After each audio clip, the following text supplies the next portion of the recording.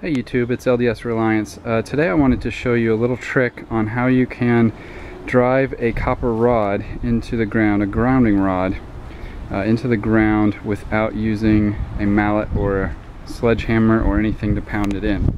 This is a, a hydraulic drill that I, that I built. Uh, basically this um, pipe is, I forget what the diameter is, but it's roughly 5 eighths or 3 quarters um, metal tubing that you can get in any electrical aisle. It's meant for metal, metal conduit. Really cheap. It was like two or three bucks for a 10 foot um, section. And what you do is you get this little fitting. It's in the uh, garden hose aisle um, of your department store, your uh, hardware store. And it's got, uh, you can't see it because, and I couldn't get this out to show you, but there's some little barbs on it. it. It goes into about right here and there's some little barbs and it's basically you put it in the hole and it's a really snug fit. You got to take a little piece of wood, put it on the end and kind of pound it in with a little mallet. But once it's in there, it ain't coming out. I mean, I couldn't, I tried to get this thing off to show you what it looks like, but you'll just have to, you'll just have to imagine for yourself.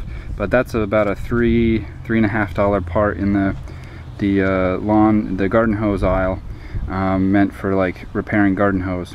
And you drive that in. Basically what you do, this is a 10 foot section, so it's more than long enough for the typical 8 foot grounding rod, is you attach a garden hose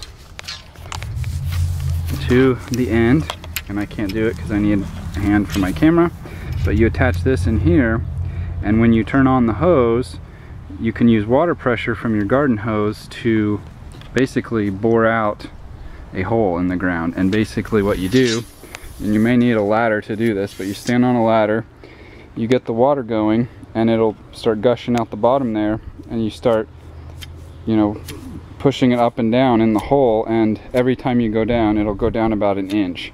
So it takes a few minutes, it'll take you about 15 minutes maybe to, maybe less, 10 minutes to bore a hole down uh, eight eight feet deep for the typical copper grounding rod but this is a heck of a lot easier than pounding it in. Plus I've read that pounding it in with a with a mallet or a sledgehammer will will remove the um, the copper coating off of the ground rod and make it basically useless um, so anyway just a little uh, trick to do that it, it sure saved a lot of work. It was very easy and it only cost me about six bucks plus tax. So thanks for watching.